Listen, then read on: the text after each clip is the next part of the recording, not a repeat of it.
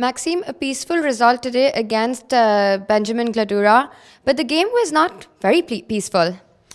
Yes, I missed a uh, couple of tricks uh, at the beginning, so I had to settle for this position where I'm a pawn down, but I have some compensation. I'm not sure I handled it the best, but should still be. Mm, I, I have reasonable compensation, and uh, Benjamin chose to uh, sacrifice back an exchange, and uh, then the position is very slightly uncomfortable for me, but uh, I should be able to sack my rook against this knight and pawn on b5, and then it's just a draw.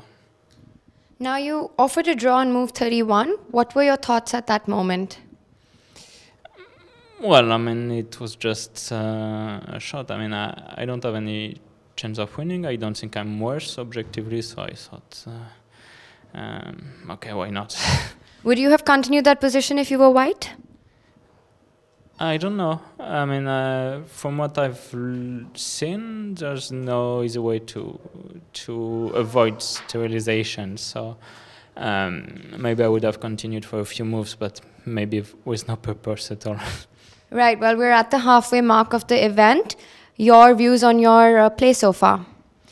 Uh, it's all right. I was a bit concerned coming in, and uh, I had um, a few shaky, shaky games. But uh, overall, uh, I'm satisfied with um, how I'm playing, how I'm calculating, and uh, well, I mean, there's always going to be some hiccups, but uh, it's not that bad. I mean, also it's tricky to win against all these players were weighted un under me. So, you know, it's a decent result. I'm losing a couple of points, but it's no big deal, and uh, I hope to to be ready for the for the final uh, one.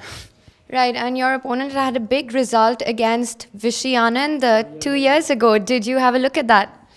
I remember the game. I was there. Um, I remember that. Um, I mean, the end game was more or less equal, but uh, Vishy uh, allowed Benjamin to bring his king to d5, which is not a good idea. So you know, I mean, we were nowhere near this kind of discussions of you know bringing the king to the center. But uh, you know, I mean, you always know you're you have to be careful uh, against anyone you play here.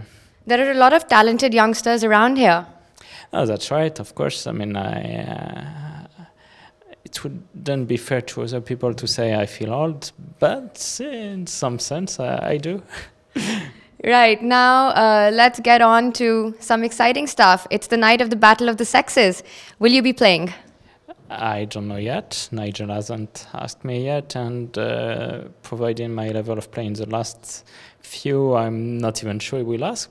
But if he, if he does, I will gladly join the fun. You're quite a regular with the Battle of the Sexes. You enjoy that uh, that format. Uh, yeah, I enjoy the teasing, especially. I mean, that's uh, what we're all coming for.